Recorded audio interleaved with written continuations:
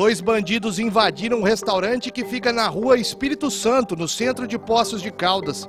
Os criminosos vão até o caixa e começam a revirar o local.